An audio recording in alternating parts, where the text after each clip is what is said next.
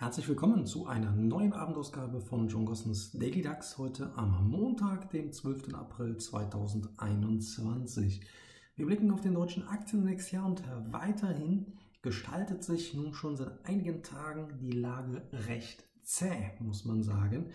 Denn wieder einmal ist der deutsche Aktienindex mehr oder weniger auf der Stelle getreten, ging nahezu unverändert aus dem Handel. Und wir sehen somit, der Slide Index nun den vierten Tag in Folge in einer ganz, ganz engen Handelsspanne hier verweilt.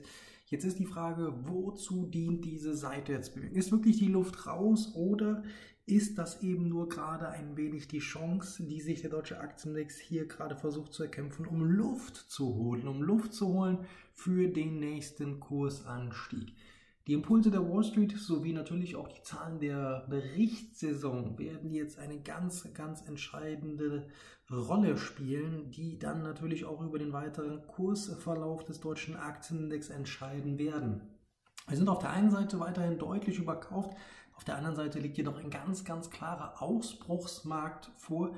Und ich betonte schon mehrfach nun, solange der Leidenex hier oberhalb dieser grünen Ausbruchslinie notiert, gibt es seitens der Bullen bislang zumindest keinen Grund zur Sorge. Grund zur Sorge, nun ja, das herrscht weiterhin beim Hinblick auf den Kurs der Lufthansa-Aktie. In der Spitze Anfang März noch bei rund 13 Euro, jetzt ist die Aktie schon unter 11 Euro gefallen.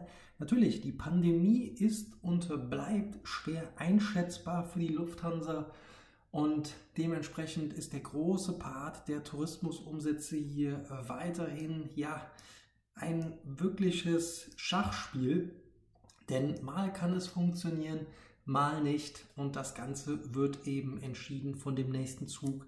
Ja, den eben hier aber ganz klar das Coronavirus bestimmt und eben nicht die Lufthansa selbst. Rein charttechnisch gesehen ganz klar mit dem hier vorliegenden Bruch nun auch noch des Aufwärtstrends könnte sich jetzt hier weitere Abwärtsdynamik in den kommenden Wochen durchsetzen. Natürlich sind die Corona-Pandemie-Impulse dabei entscheidend, aber sollte es hier zu keiner Besserung kommen, könnte es eben auch hier zu einem möglichen Kursrücksetzer bzw. einer Fortsetzung der laufenden Korrektur kommen mit einem möglichen Kursziel von bis zu 9,50 Euro. In diesem Sinne, ich wünsche Ihnen jetzt einen schönen Abend und bis morgen früh dann natürlich wieder mit dem Blick auf die Wall Street.